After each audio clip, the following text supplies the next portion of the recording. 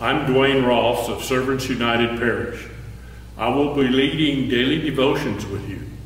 The basis for these daily devotions is from Christ in Our Home, a daily devotional series.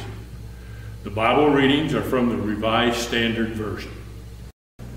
For Mar- Monday, March 21st, our reading is from Isaiah, the 55th chapter, verses 1 through 9.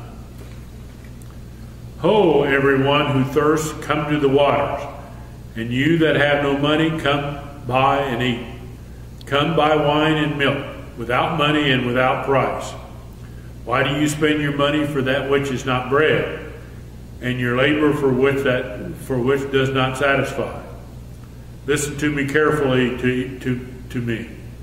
Listen, listen carefully to me and eat what is good, and delight yourselves in rich food.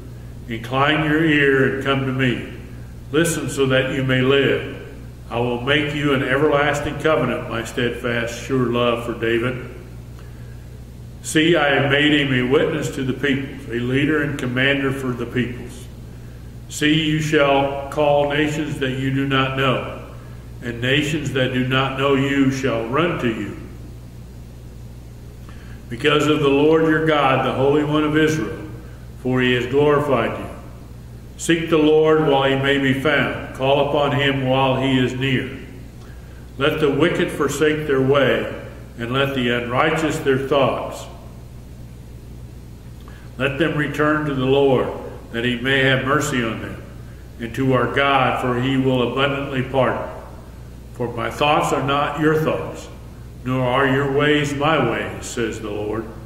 For as the heavens are higher than the earth, so are my ways higher than your ways, and my thoughts than your thoughts. Word of the Lord. When we go low, God goes high. So my ways are higher than your ways, and my thoughts than your thoughts. Verse 9. In the Great Litany, many congregations use as they enter Lent, we who live in the United States pray for our president, governor, and mayor by name, and for Congress and the Supreme Court. Throughout the year, my congregation also includes the president in the prayers of intercession. This is no small thing and sometimes forces us to pray for someone who would normally would, would, wouldn't normally be on our prayer list. Both the season of Lent and the prophet Isaiah stand as stark reminders that the surprising work of God is open to all. This includes our president, a co worker we don't get along with, the neighbor of or family member we unfriended on Facebook. We and thus those we consider wicked or unrighteous are all invited to return to a gracious God and who will abundantly pardon.